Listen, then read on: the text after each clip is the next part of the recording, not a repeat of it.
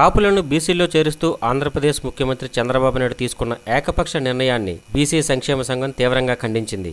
ఈ సందర్భంగా విశాఖ నగరం జీవీఎంసీ ఎదుట గాంధీ విగ్రహం వద్ద నిరసన కార్యక్రమం చేపట్టారు.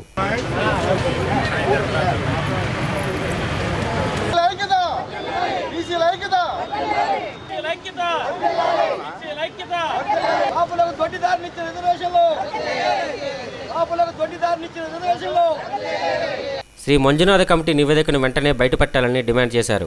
డిసెంబర్ ఏడవ తేదీన బీసీ సంక్షేమ సంఘం ఆధ్వర్యంలో రాష్ట్ర స్థాయి విస్తృత సమావేశం విజయవాడలో ఏర్పాటు చేసి భవిష్యత్ కార్యాచరణ చేపడతామని వెల్లడించారు. విశాఖ జిల్లా బీసీ సంక్షేమ సంఘం అందరూ బీసీ సంఘాలు కలిపి ఈరోజు మా యొక్క మెయిన్ నినాదం ఏంటంటే ఏదైతే చంద్రబాబు నాయుడు గారు మరియు మిగతా బీసీ బీసీలు ఎమ్మెల్యేలు ఎంపీలు ఉండి కూడా వీళ్ళందరూ మోసపూరితంగా హండ్రెడ్ పర్సెంట్ సీఎం సీఎం గారు అందరూ కలిపి ఎవరైతే చైర్మన్ గారు ఉన్నారో ఆయన ఆమోదం మంజునాథ కమిషన్ చైర్మన్ గారు ఆమోదం లేకుండా సభ్యుల ఆమోదాన్ని తీసుకొని ఇమీడియట్గా అతి త్వరిత దశలో ముందు రోజు కమిషన్ మరొకటి ముందు రోజే వాళ్ళు బీసీలకి వ్యతిరేకంగా ఫైవ్ పర్సెంట్ రిజర్వేషన్ కాపులు రిజర్వేషన్ చూపించినట్టు కల్పించి కాపుల తర సింపతిల కోసం ప్రయత్నం చేశారు. దీన్ని అన్ని బీసీ సంఘాల తరపున విశాఖ జిల్లా తరపున బుగత నరసింహరావుగా నేను మరియు మా మా- మా సంఘ మహిళా సంఘాలు మరి మా సంఘ నాయకులు అందరూ కలిసి దీన్ని పెద్ద ఎత్తున చేస్తున్నామో దీన్ని ఎట్టి పరిస్థితుల్లో రాస్తా రోకోలు ధర్నాలు చేసి దీన్ని సెంట్రల్లో విప్రులు రాకుండా ప్రయత్నం చేస్తామని చెప్పి కాపులకి రిజర్వేషన్ క్యాన్సిల్ చేయమని చెప్పి గట్టిగా మనం కలెక్టర్ గారికి మెమోరాండం ఇస్తూ చంద్రబాబు నాయుడు గారికి మరొకసారి గట్టిగా మేము నొక్కి చెబుతున్నాం. ఎట్టి పరిస్థితుల్లో ఈ రిజర్వేషన్ చెల్లడానికి వీల్లేదు. బీసీ సంఘాల తరపున ఎట్టి పరిస్థితుల్లో ఈ కమిషన్ యాక్సెప్ట్ చేయమని చెప్పి గట్టి నినాదాన్ని తెలియజేస్తున్నాం. జై బీసీ!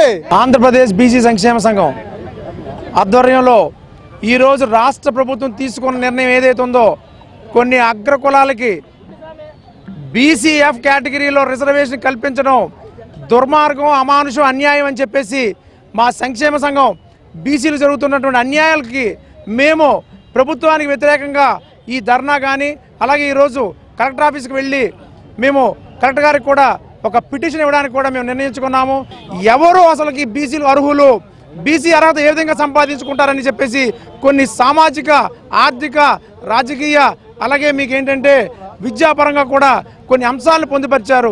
ఆ అంశాలని మనం కాదనేసి మనకు నచ్చినట్టు ఎవరో ఏడిచారు ఎవరో గొడవ పెట్టారు లేకపోతే ఎవరో ట్రైన్లు తగలబెట్టారని చెప్పేసి నచ్చినట్టు మనం రిజర్వేషన్ ఇచ్చుకుంటూ పోతే భారతదేశం రాజ్యాంగంలో డాక్టర్ బిఆర్ అంబేద్కర్ ఆలోచించిన విధానం ఏదైతే ఉందో సమ సమాజం కావాలి నవ సమాజం కావాలన్న దానికి పరిపూర్ణమైన విరుద్ధంగా ఈ రాష్ట్ర ప్రభుత్వం ప్రవర్తిస్తుంది కాబట్టి ఈ ప్రభుత్వం తీసుకున్న నిర్ణయాన్ని మేము పరిపూర్ణంగా ఖండిస్తున్నాము.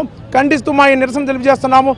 ఈ రిజ- రిజర్వేషన్ ఏదైతే చెప్తున్నారో దాన్ని వెనక్కి తీసుకోకపోతే అవసరమైతే బీసీ సంఘాలు కానీ అనుబంధ బీసీ సంస్థలన్నీ కూడా ముందుకొచ్చి వారి ప్రాణత్యాగాన్ని కూడా సిద్ధమవుతారని చెప్పేసి ముఖ్యమంత్రి గారికి నేను చాలా తీవ్రంగా చెప్తున్నాను హెచ్చరిస్తున్నామని చెప్పి కూడా ఈ సందర్భంగా తెలియజేస్తున్నాము.